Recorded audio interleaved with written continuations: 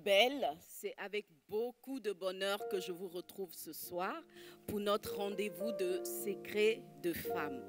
Nous avons commencé depuis deux semaines dans ce nouveau concept que le Seigneur nous a mis à cœur et qui consiste pour nous à partager des secrets avec chaque femme extraordinaire, avec chaque princesse du Seigneur que vous êtes. Et voilà, deux semaines que nous avons parlé, nous avons planté le décor. Et maintenant que le décor est planté, nous, nous allons nous installer et partager des choses très, très profondes. Tu fais vraiment bien d'être connecté ce soir et je t'assure que tu ne seras pas déçu. Alors avant que nous n'allions plus loin, je voudrais t'inviter à inviter toi aussi des sœurs à se connecter, à partager ce lien, à liker ce lien afin que beaucoup, beaucoup de femmes puissent venir à la source des secrets de femmes.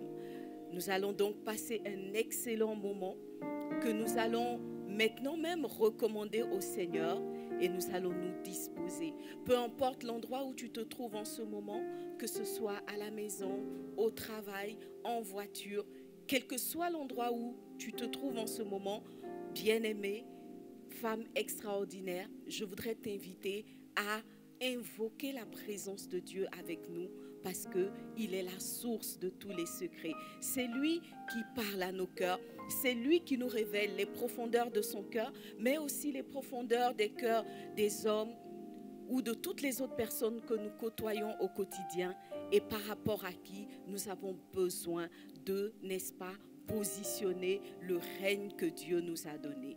Bienvenue à Secret de Femmes et que la gloire de Dieu nous conduise dans sa présence. Alléluia. Merci notre Dieu. Merci notre Dieu. Père, nous voulons te dire merci pour ce moment, pour ce temps précieux que nous allons passer dans ta présence. Une heure dont tes parvis vaut mieux que mille ailleurs. C'est vrai, Père, que nous n'avons mis de côté qu'une seule heure, mais nous savons que cette heure vaut mieux que mille ailleurs.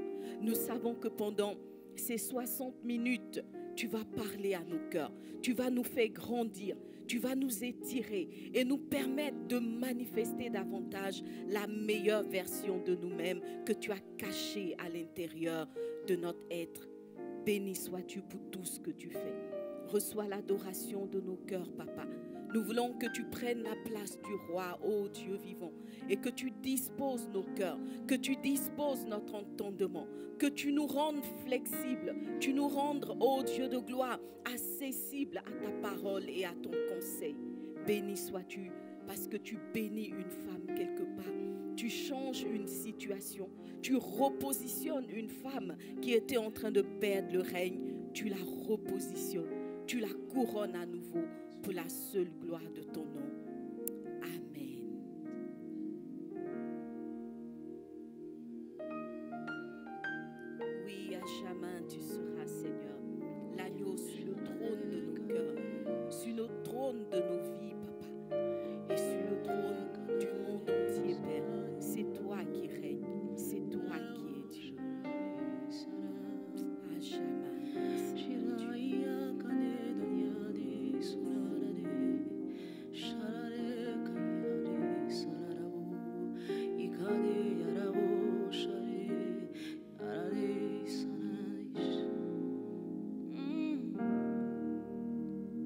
À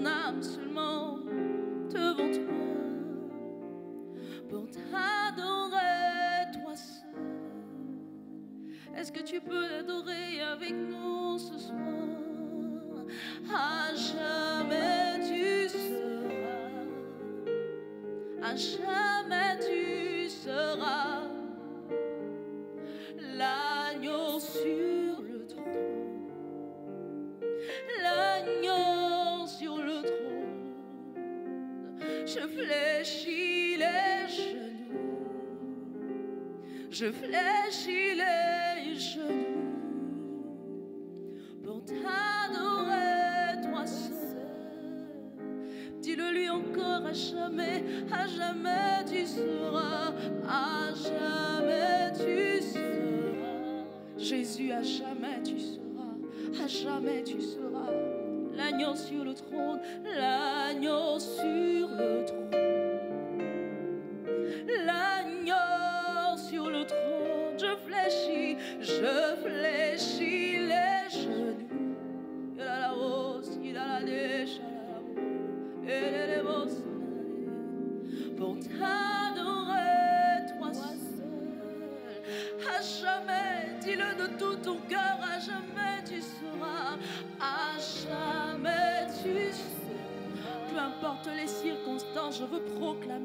Jamais tu seras l'agneau sur le trône, l'agneau sur le trône, sur le trône de mes décisions, sur le trône de ma famille. Je fléchis les genoux, je fléchis les genoux, papa, pour t'adorer toi seul. Je veux t'adorer, toi seul. Dis-le lui, à jamais tu seras, à jamais tu seras, à jamais tu seras. À jamais tu seras l'agneau sur le trône. L'agneau sur le trône. Ah, tu es sur le trône des circonstances que je traverse, Seigneur. Je fléchis les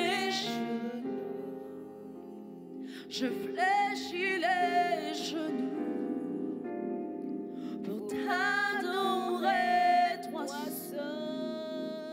À la bouche, je crie, mon cœur soupire après celui qui sait me satisfaire.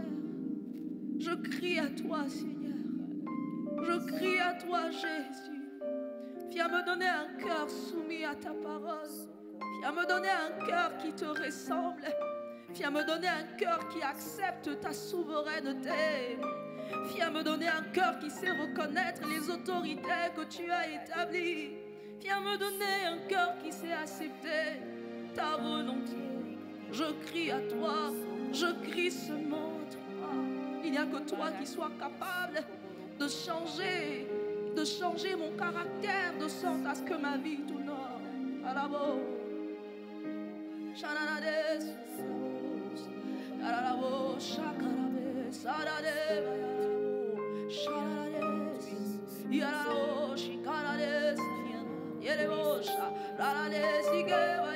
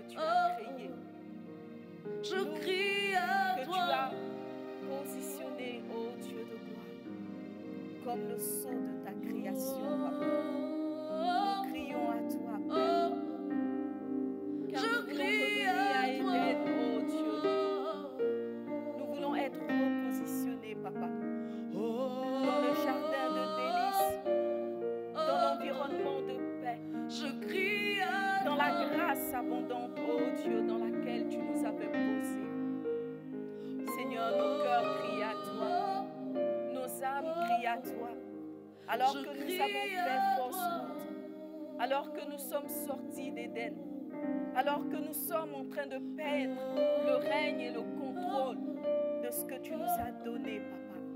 Nos cœurs crient à toi. Nous savons que tu as la solution, papa. Nous savons que tu as le remède.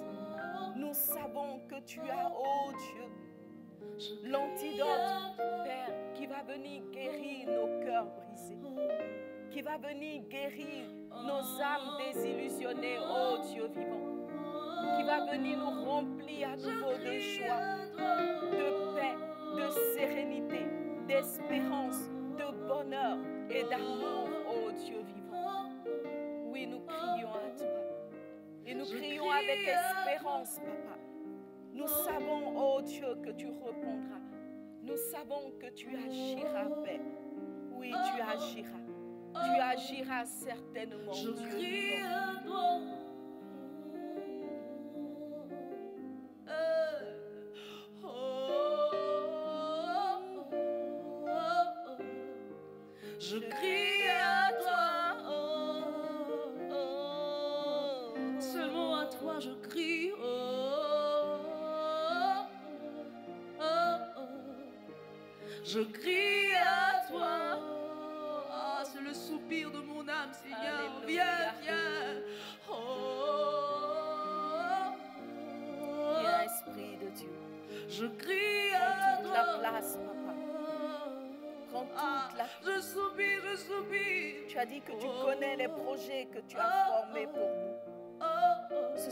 Projets de je paix. Ce sont des projets de bonheur. Car tu veux nous donner un avenir, papa. Un avenir plein d'espérance. Un avenir plein de victoire. Oh. Nous crions à toi, Esprit de Dieu. Saint-Esprit, je crie. Nos cœurs crient à toi. Nos âmes crient à toi, Dieu vivant. Je crie à toi. Alléluia.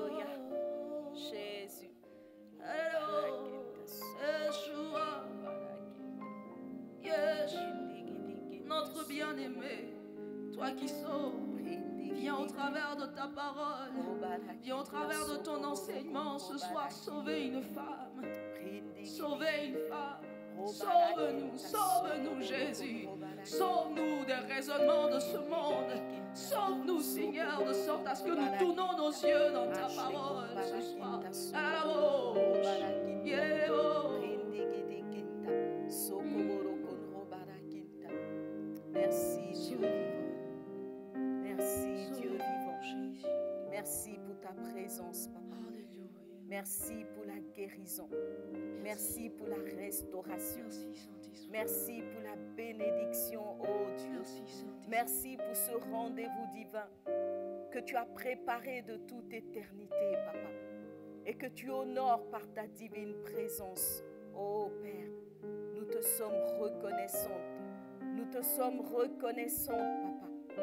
Ta présence nous fait tellement de bien. Merci. Alléluia. Merci, Père. Encore une fois, bonsoir, bien-aimés. Que la grâce, la paix et la bénédiction du Seigneur soient avec toi. Et bienvenue à ton rendez-vous de secrets de femmes. Ce soir, nous allons partager des secrets très, très importants. Je t'assure que tu n'as jamais entendu des choses aussi profondes sur ta situation de femme, sur ta position de femme et sur ton rôle de femme. Je voudrais donc t'inviter à être très attentive, n'est-ce pas? Et à laisser le Saint-Esprit parler à ton cœur. Les secrets que je vais partager, c'est vrai, peuvent sembler être adressés à des femmes qui sont mariées, qui sont dans un couple, mais en réalité, il ne s'agit pas seulement de femmes mariées. Que tu sois mariée ou pas, que tu sois en voie de l'être ou pas, je t'assure que ces secrets sont pour toi. Tu dois les recevoir, les garder sur la table de ton cœur et les capitaliser dans tous les environnements dans lesquels le Seigneur te positionne en tant que femme. Et comme tu le sais, l'appui de notre euh, enseignement, en tout cas pour cette première saison, est le texte de Esther, l'histoire de Esther, cette jeune femme qui ne savait pas qu'elle avait une grande destinée et qui pourtant, par le bras du Seigneur, par le bras de l'Éternel, par le bras du Dieu qui était son Père, s'est retrouvée à la royauté. Mais c'est vrai qu'à côté de l'histoire d'Esther, en fait, ce qui permet à Esther d'être révélée, c'est la défaite, la débâcle, ou je dirais la débandade de Vasti, la première reine, celle qui était couronnée auparavant, mais qui a perdu par la suite le règne. Aujourd'hui, l'enseignement que nous allons partager, je l'ai appelé le mystère des sept eunuques, ou comment identifier le point de basculement où l'amour de ton homme se transforme en haine? Ah, ouais, c'est de ça qu'il s'agit. Je sais que quand on s'est réunis en tant que femmes, bien souvent la conversation tourne autour de notre relation à l'homme, de euh, la façon dont nous vivons avec les hommes, de notre amour et de l'amour que nous recevons des hommes, etc. Mais on doit reconnaître que quelque part, ça fait partie de notre existence de femme et c'est, euh, n'est-ce pas, un des grands éléments de la vie d'une femme. Manifester l'amour et aussi le recevoir. Recevoir cet amour-là d'un homme, mais aussi de tous les hommes qui sont dans notre environnement, c'est aussi recevoir l'amour, la considération de la part des personnes que nous côtoyons au quotidien. Et je dirais que si une femme sait aimer un homme et sait être aimée d'un homme jusqu'au bout, alors elle saura aimer toutes les personnes qui sont autour d'elle et saura être aimée de toutes ces personnes-là. Aujourd'hui, donc, nous allons commencer à parler du mystère des sept eunuques. Je sais que tu te poses la question de savoir qu'est-ce que c'est. Alors, reste connecté parce que le Seigneur a de grandes choses à te dire. Ce que je sais, c'est que on remarque en tout cas généralement que euh, beaucoup d'histoires d'amour qui ont commencé avec faste, qui ont commencé avec passion, avec beaucoup d'émotions, finissent dans la haine, finissent dans le déchirement, on se sépare à couteau tiré, etc. Et quelque part, ça semble être un chemin très répétitif, un chemin très fréquent. Alors des femmes qui sont entrées dans le mariage euh, avec une superbe robe, une superbe histoire de mariage, vont sortir par la petite porte qu'on appelle le divorce. Et ce n'est pas parce que euh, c'était un choix, mais c'est parce que d'une certaine façon, nous nous sommes retrouvés, ou en tout cas, les femmes qui ont vécu cette expérience se sont retrouvées à cette extrémité. Et la vérité, c'est que beaucoup de femmes, beaucoup parmi nous, se demandent si cette histoire qui semble de plus en plus commune ne sera pas la leur. Je veux te dire ce soir que même si cette histoire s'écrit de plus en plus, ça ne sera pas ton histoire. Dis avec moi, ça ne sera pas mon histoire. Ça ne sera pas ton histoire. En vérité, ce que Dieu a prévu pour toi, particulièrement la grâce, la faveur que Dieu répand sur les femmes, en tout cas les femmes vers qui l'influence que le Seigneur m'a donnée va aller, ça sera une influence de règne, de conservation du règne. Dis avec moi Amen. Dis avec moi, je règne et je conserve mon règne. Voilà, donc je disais tout à l'heure qu'on a beaucoup parlé en fait de euh, l'attitude des hommes dans leur histoire d'amour et on a fini par croire que euh, la froideur, l'indifférence, euh, le cynisme même des fois sont le lot des hommes dans les relations amoureuses.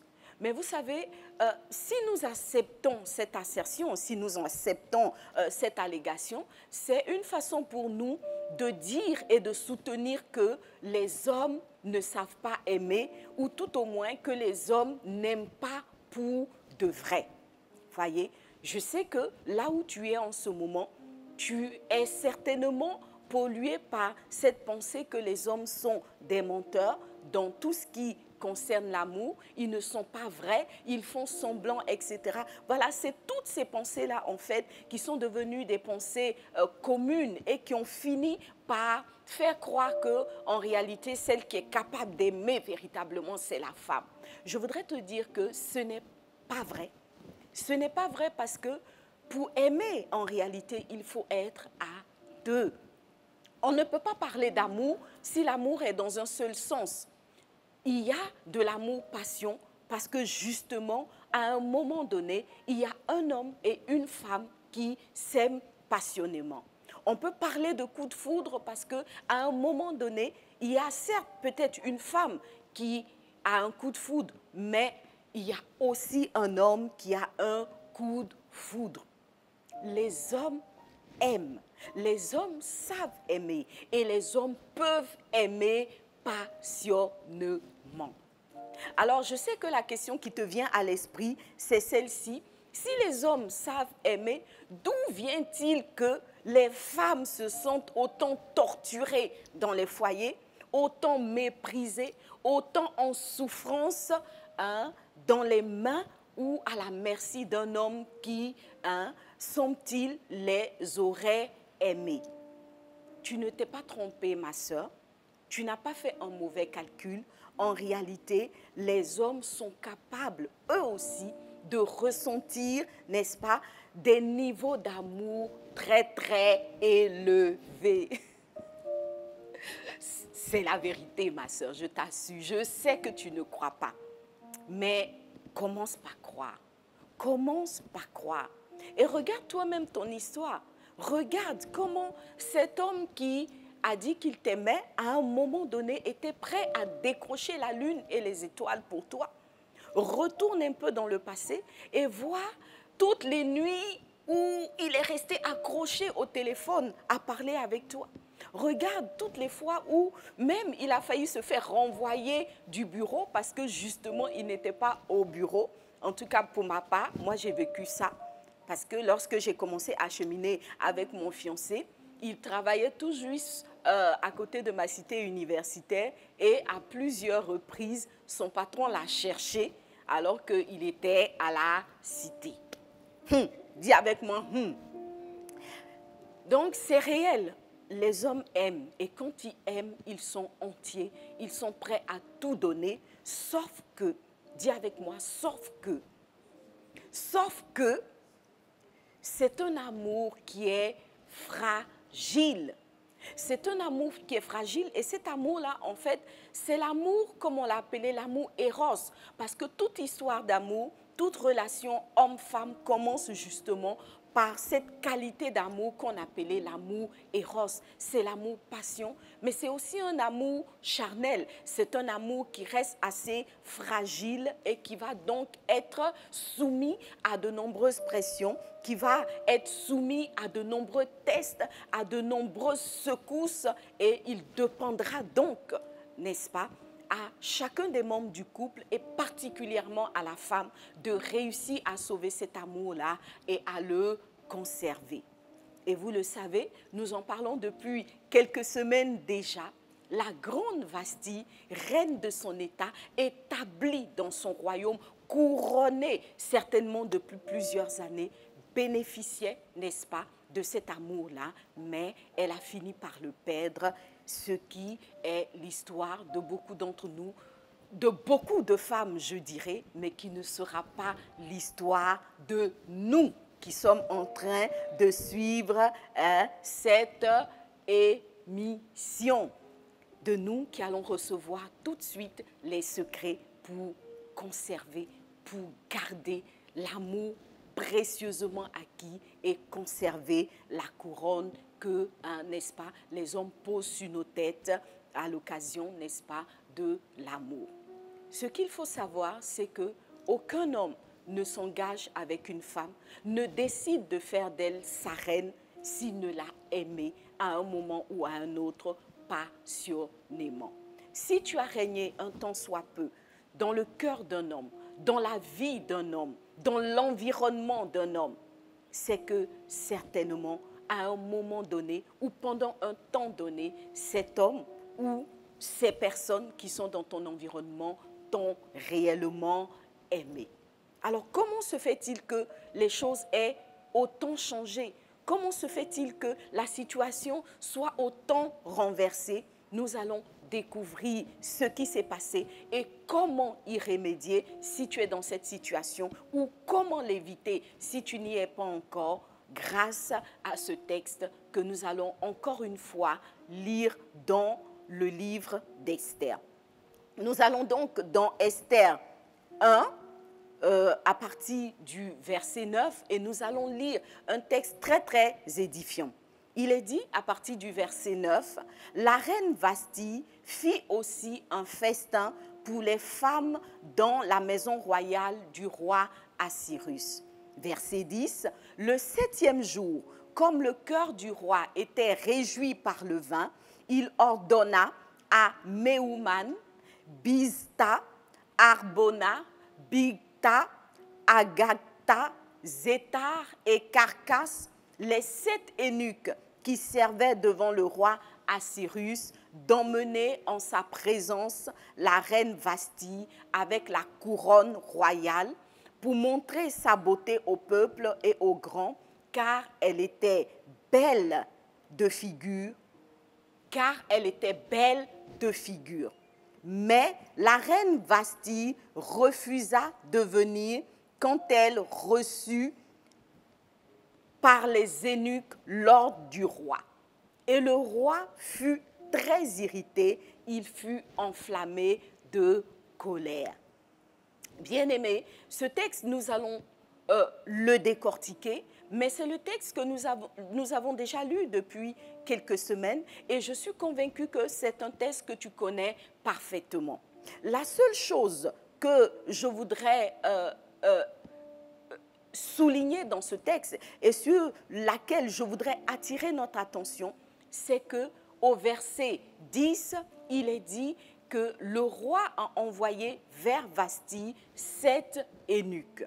Et nous avons déjà souligné ce fait-là, que ce n'était pas une seule personne qui était allée vers Vasti, mais c'était sept eunuques.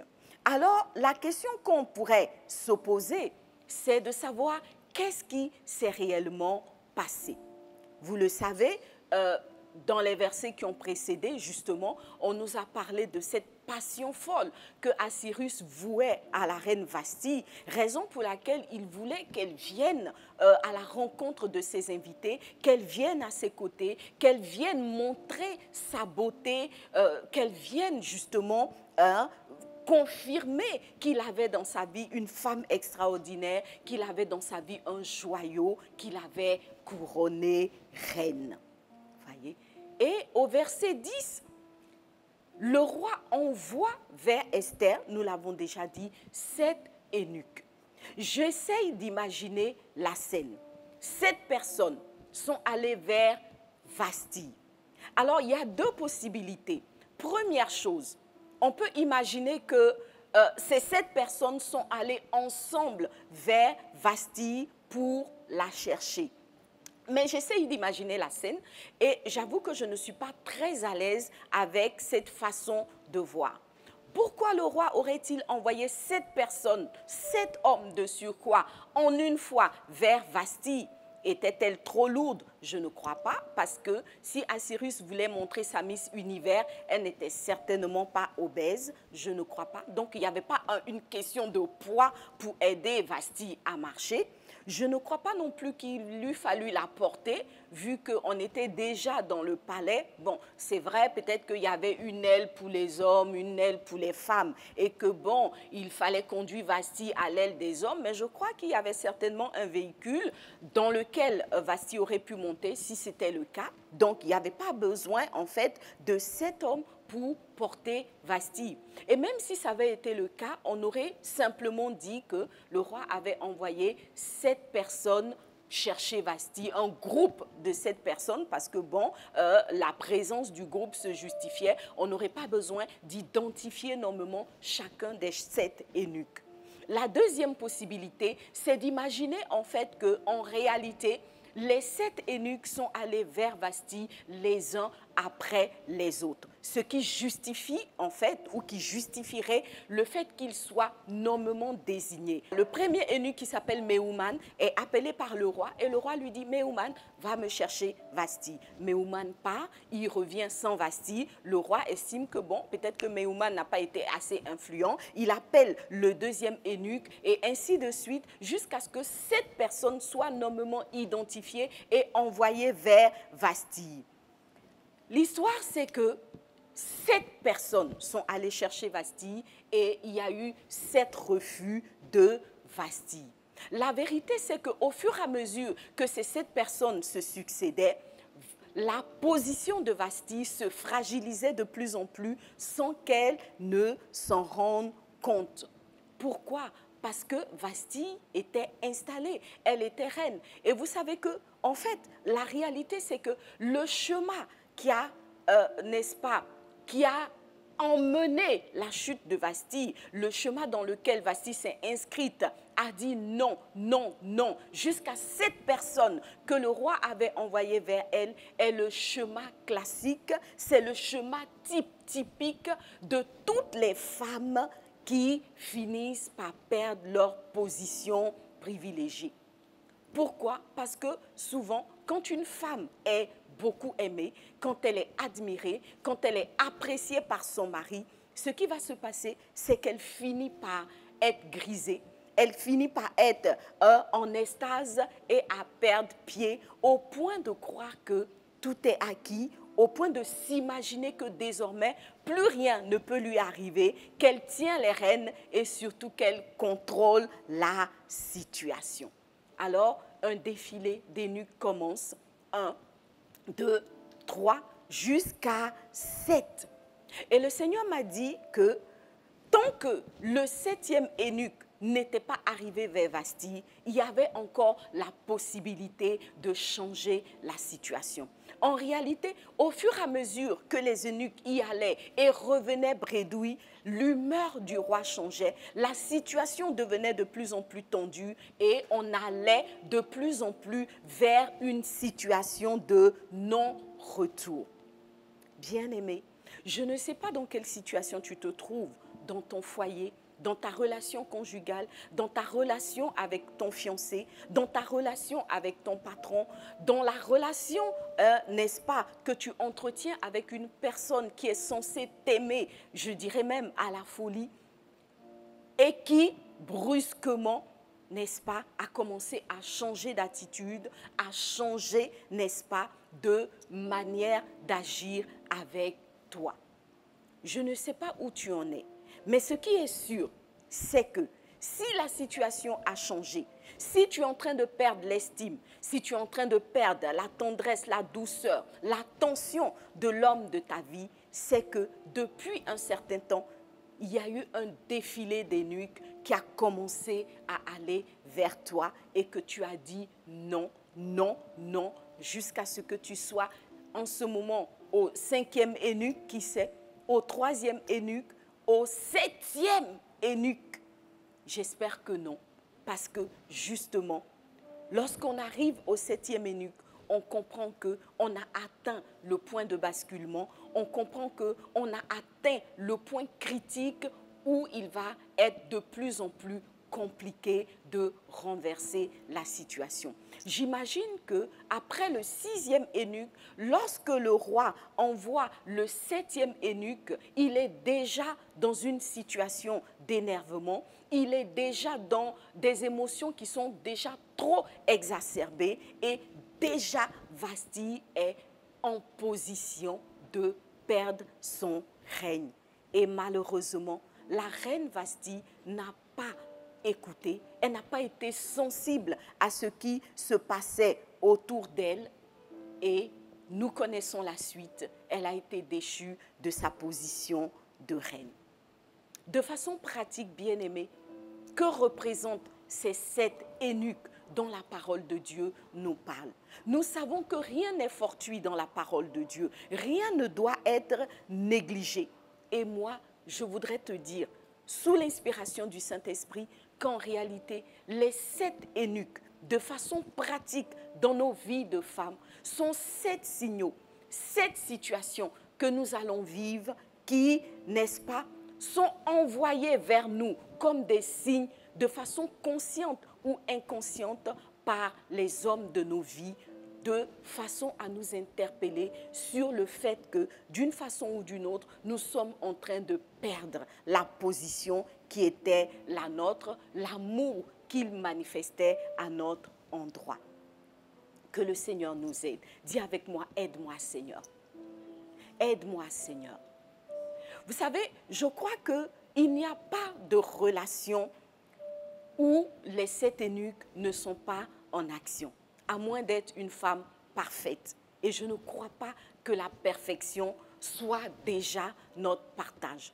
Pour ma part, lorsque le Seigneur m'a parlé des sept eunuques, bien que j'ai une relation assez, euh, je dirais, assez idyllique avec mon mari, quand j'ai pris le temps de regarder de près, j'ai identifié, n'est-ce pas, j'ai identifié quelques eunuques qui étaient déjà venus vers moi et que j'avais eu la mauvaise idée de négliger, de mépriser ou d'ignorer.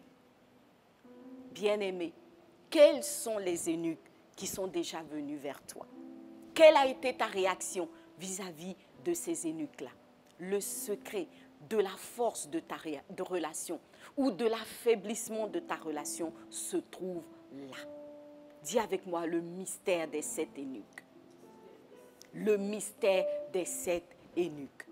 Alors nous allons voir en détail ce que chaque eunuque représente et nous allons en tirer les leçons pour que plus jamais aucun eunuque ne nous échappe. Chaque eunuque qui viendra vers nous, nous allons clairement l'identifier. Nous allons le chouchouter et nous allons, n'est-ce pas, le suivre gentiment vers Assyrus, le roi de notre vie. La base de tout, c'est que nous devons savoir que l'homme qui a fait de nous une reine est notre chef. La Bible dit que l'homme est le chef de la famille. Il est le chef du couple. Et tout part de là.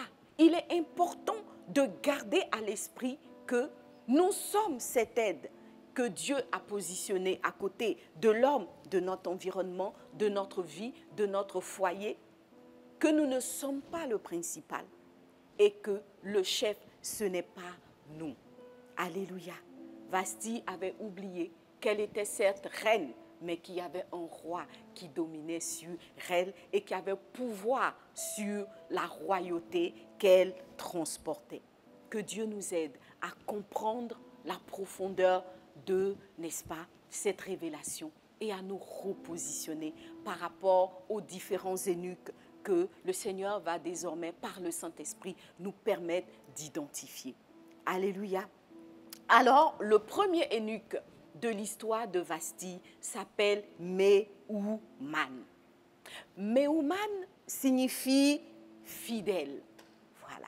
Parce que nous allons essayer de comprendre le message que transporte chacun de ces eunuques à partir de la définition du nom de chacun.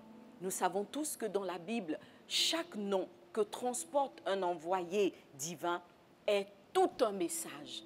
Et si tu n'avais jamais compris le message des sept eunuques de l'histoire de Vasti, c'est aujourd'hui le temps de la révélation de ce secret.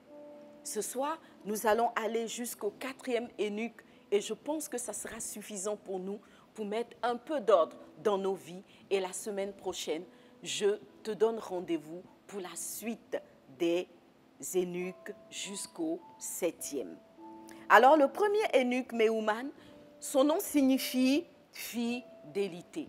Et comme nous le savons, la fidélité est le premier engagement de l'homme vis-à-vis de la femme qu'il aime et vice-versa quand on s'engage en amour, que ce soit pour ceux qui vivent ensemble sans être mariés, comme pour ceux qui sont passés par hein, le sacrement du mariage, la première chose qu'on veut entendre de, des conjoints qui vont s'engager, c'est leur engagement à la fidélité. On se promet fidélité par rapport à ceci, on se promet fidélité par rapport à cela. Alors lorsque cette fidélité qui a été, n'est-ce pas, prononcée audiblement, qui a été prise comme engagement devant témoins, est mise à mal par diverses attitudes, lorsque les engagements qui ont été pris commencent à ne plus être respectés, il faut réaliser que le premier eunuque est envoyé. C'est le signal du premier eunuque. De ce premier signal qui vient nous dire que la relation commence à tanguer, que la couronne commence à pencher. Et femme, tu dois non seulement discerner ces éléments, mais aussi les prendre en compte et choisir de réagir plutôt que d'ignorer ce qui se passe ou plutôt que de, hein, n'est-ce pas, ne pas considérer ce qui se passe. Qu'est-ce qui a commencé à ne pas être respecté dans ta relation avec ton conjoint? Est-ce que cela vient de lui? Est-ce que cela vient de toi? À partir du moment où on estime qu'on ne se sent plus lié par les engagements qu'on a pris, engagement de protection, engagement euh, d'amour, engagement de respect, engagement de, euh, n'est-ce pas, de, j'ai dit protection, de sécurité, n'est-ce pas, c'est que le premier eunuque s'est mis en marche. Alléluia. Si, par exemple, tu es dehors jusqu'à minuit et que tu appelles ton conjoint pour que éventuellement il vienne te chercher et qu'il estime que tu l'as dérangé dans son sommeil et que tu dois te débrouiller pour rentrer, c'est le signal du premier eunuque parce que l'engagement de te protéger, de te sécuriser n'est plus à l'ordre du jour. Dis avec moi, Meuman. Meuman. Meuman est dans la place, bien-aimé. Nous allons aller pour le deuxième eunuque. Le deuxième eunuque, c'est Bizta. Dis avec moi Bizta. Je ne t'entends pas. Voilà. Bista, en fait, signifie butin. Butin. Le butin, en fait, c'est euh, ce qu'on a gagné. C'est ce qu'on a remporté dans un combat, dans une preuve donnée, etc. Et donc le butin ici nous parle, n'est-ce pas, des acquis du couple. Qu'est-ce qui a été capitalisé? Qu'est-ce qui a été gagné lorsque la relation était dans sa vitesse de croisière. Qu'est-ce qui a été bâti? Qu'est-ce qui a été édifié? Qu'est-ce qui a été érigé? Lorsque l'amour était au beau fixe Lorsque on s'entendait bien. En fait, c'est tous ces trésors-là que votre amour a pu engendrer. Lorsque ces trésors, ces acquis commencent à être bafoués, commencent à être méprisés, commencent à être ignorés par l'un des conjoints, c'est que le deuxième eunuque est en marche. Et l'un des acquis de la relation amoureuse, c'est par exemple le langage d'amour c'est l'un des acquis les plus importants d'une relation. Vous savez que lorsqu'on aime, les noms de caresses, les mots doux sont presque naturels. Donc, naturellement, dans une relation où la femme a sa position de reine, on va constater que, par exemple, elle sera appelée par son conjoint par des noms de caresses ou un nom de caresse spécifique. Ça va de soi c'est naturel. Voyez? Et donc, si dans votre relation, vous remarquez que brusquement, l'homme ne vous interpelle plus, ne vous appelle plus par votre nom de caresse, par le mot doux qu'il utilisait pour vous nommer, ou par l'intonation pleine de douceur et de mélodie qu'il utilisait pour vous appeler, c'est que le deuxième eunuque, Bista, est en marche. Alléluia. Nous allons lire, par exemple, dans euh, le livre d'Esther, toujours au chapitre 2, à partir du verset 14, il est dit par exemple, elle y va le soir. Je commence par là. Elle y va le soir. On parle en fait de toutes ces jeunes filles qui étaient venues pour essayer de remporter, hein, n'est-ce pas, de récupérer la couronne de Vastille. Donc, chacune allait à son tour vers le roi et il est dit, et elle y va le soir. Le matin suivant, elle va dans la deuxième maison des femmes, qui a aussi pour responsable Gaï, l'énuque du roi. Elle ne retourne plus chez le roi, sauf si celui-ci l'a fait appeler par son nom. Alléluia. Si vous avez bien compris ce passage dans sa profondeur, il explique en fait que toutes les jeunes filles qui avaient été réunies à la recherche de celle qui allait porter la couronne étaient envoyées les unes après les autres auprès du roi. Et on l'a tous compris, aussi nombreuses qu'elles étaient, aucune n'avait réussi à remporter la couronne tant que Esther n'était pas encore passée. Mais le fait de ne pas prendre la couronne ne signifiait pas qu'elle ne, ne, servait pas le roi. En réalité, quand on comprend le texte, on comprend que elle servait, n'est-ce pas, les besoins libidiques du roi. Et après, pas question pour elles de rester dans l'environnement du roi. Elles étaient renvoyées dans la maison des concubines et chaque fois que le roi avait besoin de l'une d'elles, elle était appelée par son nom à l'état civil. Si elle s'appelait Sylvie, le roi disait, ramenez-moi Sylvie, s'il vous plaît. Si elle s'appelait Fanta, il disait Ramenez-moi Fanta, s'il vous plaît.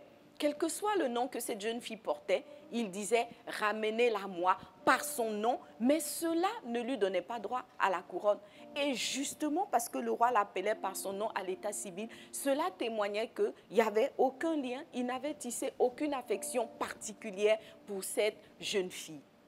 Bien-aimée, si tu es dans une situation où ton mari ne t'appelle que par ton prénom à l'état civil, c'est qu'il est en perte, n'est-ce pas, de vitesse dans, n'est-ce pas, son amour pour toi, dans son admiration pour toi, dans, n'est-ce pas, la couronne qu'il a positionnée sur ta tête.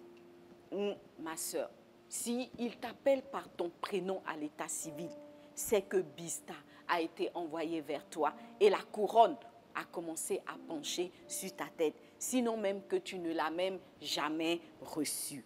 Alléluia. Alors, c'est une situation qui doit t'interpeller et te faire comprendre que le deuxième eunuque a été envoyé vers toi. Ça peut se manifester par divers autres réactions, n'est-ce pas? Par diverses autres manifestations dans lesquelles les acquis de l'amour sont bafoués. Par exemple, ton mari revenait tous les soirs ou une fois par semaine à la maison avec un bouquet de fleurs pour toi.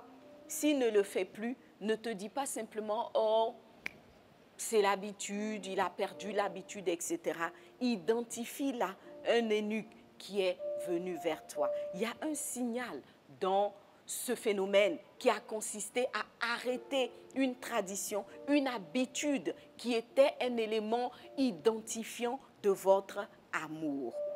Dis avec moi, affaire à suivre. Alléluia. Le troisième eunuque qui a été envoyé vers Vasti s'appelle Arbona. Arbona signifie chauve. Je sais que tu as envie de dire, qu'est-ce que chauve vient chercher ici? Arbona signifie chauve et cela a tout un sens. Si vous lisez le livre d'Esther, vous découvrirez par exemple au chapitre 7 que Arbona est l'énu qui a assisté à la disgrâce de Aman.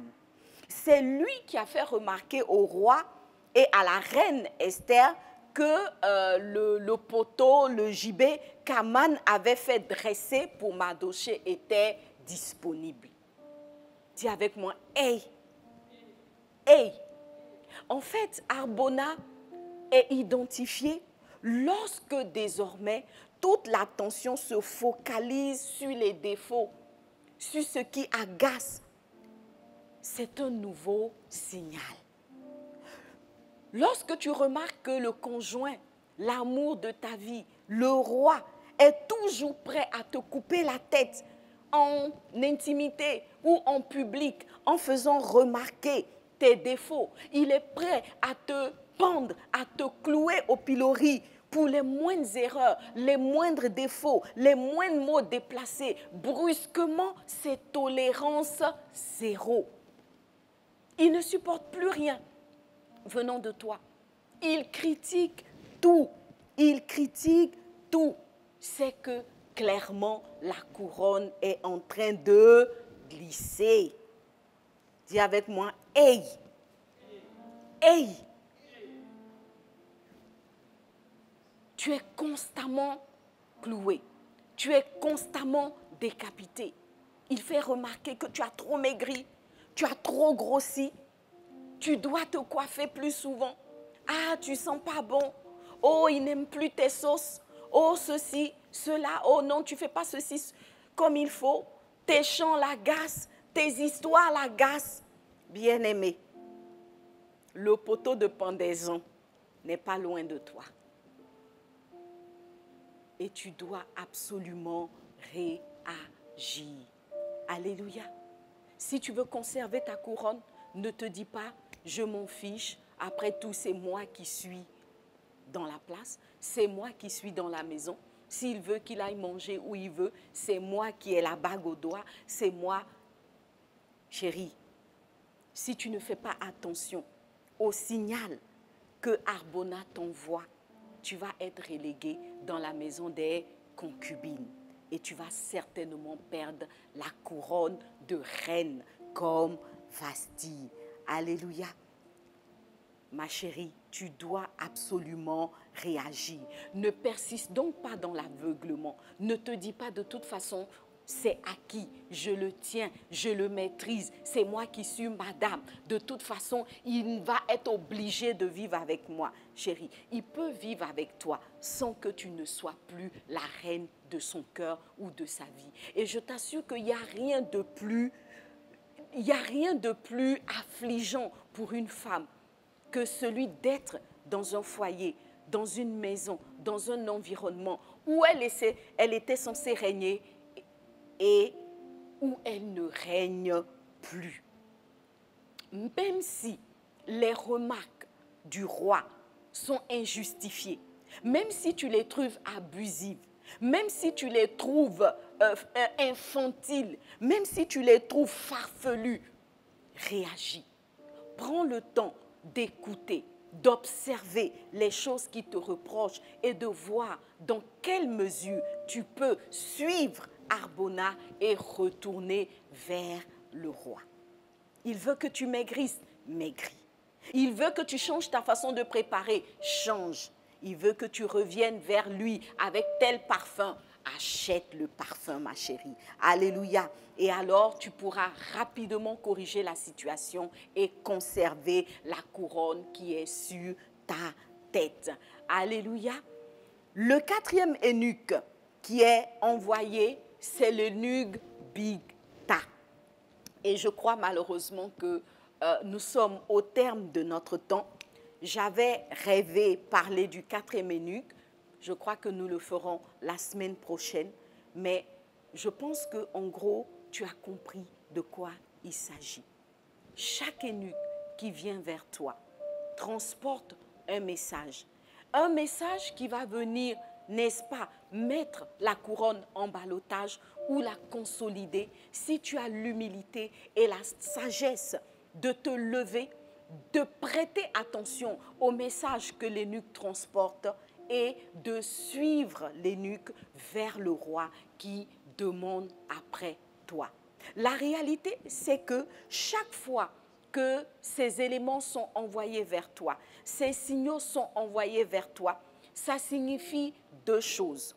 Ça signifie que le roi est en train de se détacher, c'est vrai, mais ça signifie aussi qu'il te donne l'opportunité de venir encore une fois présenter que tu es la meilleure, de venir démontrer devant son public, devant ses amis, que c'est toi qui, n'est-ce pas, à la couronne, c'est toi qui l'aimes, c'est toi qui règnes, justement parce que il veut montrer quelque chose de plus glorieux de toi.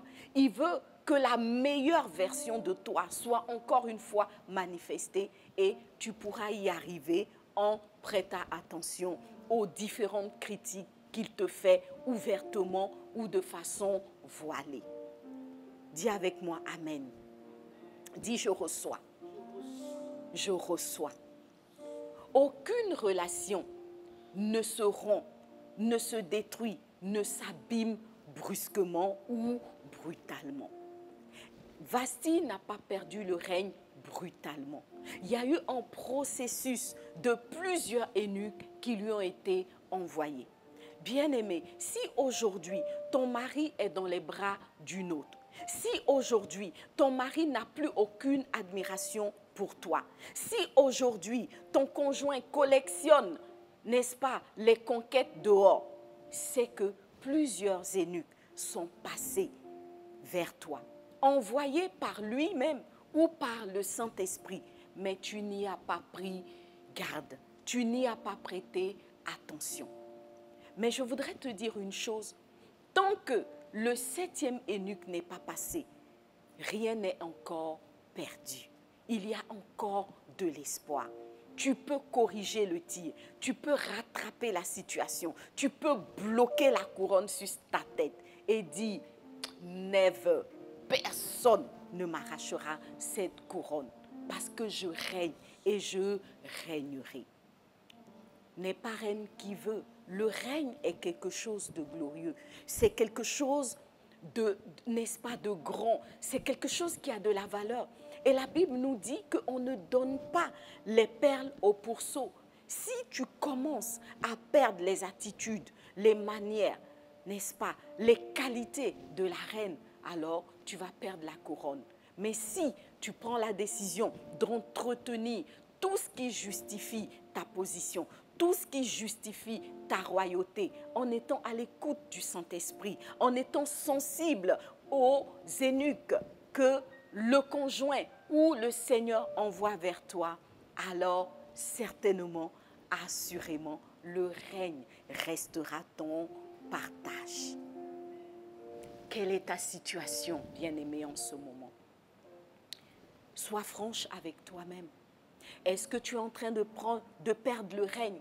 Est-ce que ton avis est en train de prendre de l'eau? Arrête-toi. Identifie les différents eunuques qui ont été déjà envoyés vers toi. Je sais qu'il en reste encore quatre que nous allons étudier, mais fais un peu le point de la situation. Peut-être que je n'ai même pas besoin de citer les quatre autres eunuques, que toi-même tu les identifieras dans ta propre histoire, dans ta propre vie. Nous allons prendre un moment et prier en demandant au Saint-Esprit de nous éclairer, d'illuminer notre lanterne, de parler à nos cœurs, de nous faire voir les eunuques que nous n'avons pas vus. Peut-être qu'ils ne correspondent pas tout à fait à ce que moi j'ai identifié dans cette exhortation, mais certainement, assurément, des eunuques sont venus vers toi. Même si tu es toujours au cœur de l'amour de ton conjoint, au cœur de ses préoccupations, au cœur de, de, de, de ses envies, de ses goûts, fais attention il y a certainement un, deux, voire trois eunuques qui se sont déjà signalés. Alléluia. Nous allons baisser la tête et prier. Alors, cette parole ne vient pas nous condamner ce soir. Elle vient pour que nous nous relevions. Elle vient pour que nous relevions la tête. Elle vient pour nous repositionner et nous redonner la position que nous avions auparavant. Ève régnait dans le jardin d'Éden. Adam avait tellement aimé Ève qu'il ne prenait plus attention de quoi que ce soit. Et pour Ève, il a même bafoué les instructions que le Seigneur lui avait données. Mais parce que Ève n'a pas reconnu le serpent qui était venu vers elle, elle a perdu le règne, perdu l'amour de son Père, de son Dieu, mais aussi perdu l'amour et l'admiration de cet homme, Adam, que Dieu lui avait donné et qui avait proclamé, voici cette fois celle qui est ma vie, celle qui est les os de mes os, celle qui est la chair de ma chair, celle que j'aimerai pour l'éternité. Il avait dit, mais Ève perdu le règne parce qu'elle n'a pas su identifier l'énuque qui est venu vers elle. Alléluia. Merci Seigneur. Père, nous voulons te dire merci pour ta parole, ô Dieu vivant. Merci de parler à nos cœurs. Merci de parler à nos cœurs. Alors invoque la présence encore une fois du Seigneur. Mets-toi devant le Seigneur. Et alors que nous chantons ce cantique, demande au Saint-Esprit de prendre toute la place et de t'emmener à voir ce que tu n'avais pas vu jusque-là, de t'emmener à considérer ce que tu n'avais pas considéré jusque-là, de t'emmener à ne plus mépriser les signaux, les messages qui sont envoyés vers toi. Parce que je sais que ce que tu désires le plus, et Dieu le sait, c'est garder ta position, c'est garder ton règne, c'est garder ce bonheur, cette joie qu'il t'a donné dans ce couple, qu'il t'a donné dans ce travail, qu'il t'a donné dans cette relation. Je sais que pour rien au monde, tu ne voudrais perdre cette position privilégiée que le Seigneur t'a donnée. Peut-être que toi, tu n'as pas encore été couronné, mais regarde les éléments que tu dois t'assurer de valider pour que la couronne devienne ton partage et sois sensible à la voix de l'Esprit dans ton cœur. Saint-Esprit, prends le contrôle.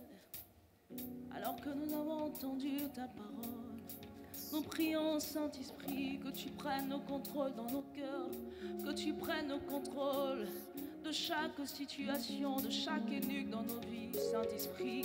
Ouvre nos yeux, ouvre nos yeux, prends le contrôle, Saint-Esprit, prends le contrôle, Saint-Esprit, prends le contrôle, Saint-Esprit, prends le contrôle, prends le contrôle. Prends le contrôle, prends le contrôle, cher Saint-Esprit. Prends le contrôle, prends le contrôle, prends le contrôle, cher Saint-Esprit. Prends le contrôle, prends le contrôle, prends le contrôle, cher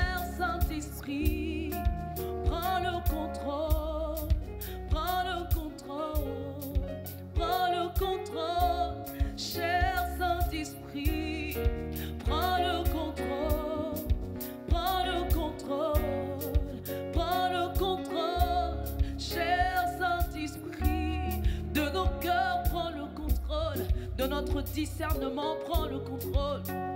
Nous avons besoin de toi. Nous avons besoin que tu viennes nous enseigner à discerner les eunuques dans nos cœurs, Seigneur. À discerner les eunuques dans notre maison. Oh, Saint-Esprit, prends le contrôle. Prends le contrôle. Prends le contrôle.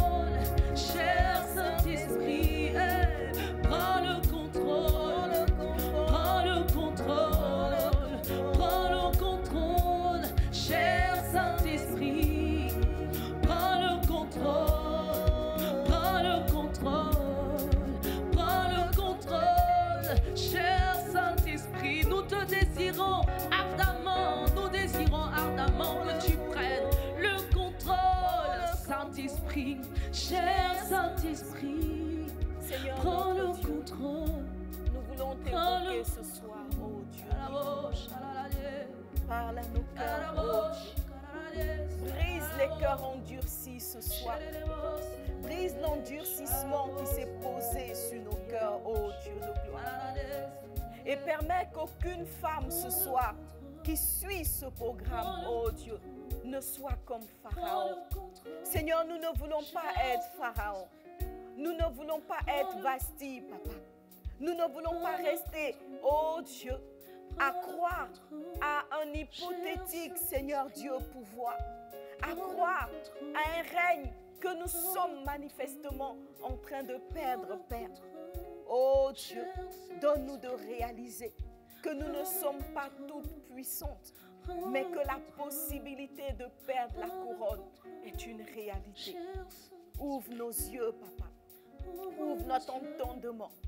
Rends-nous sensibles, oh Dieu, aux différents messages qui se font jour dans notre environnement, qui sont envoyés, papa, par notre conjoint, par la personne avec qui nous vivons, par notre mari, par notre chef, par notre patron, oh Dieu vivant, même par notre meilleur ami, Seigneur notre Dieu.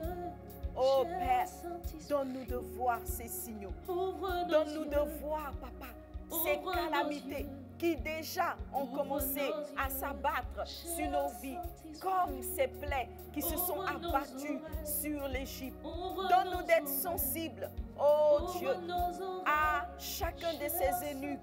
Meuman, Papa, Bigta, oh Dieu de gloire, Arbona, Père. Donne-nous d'être sensibles et de voir là où les signaux nous indiquent que nous sommes en perte de vitesse, que nous sommes en balotage, papa, que nous devons revoir notre copie, notre position, papa. Donne-nous l'humilité nécessaire, oh Dieu, pour reconsidérer les choses, pour nous lever, oh Dieu, de ce que nous sommes en train de faire, de ce qui nous absorbe tant et qui nous empêche, oh Dieu de gloire, de combattre pour la position que tu nous as donnée.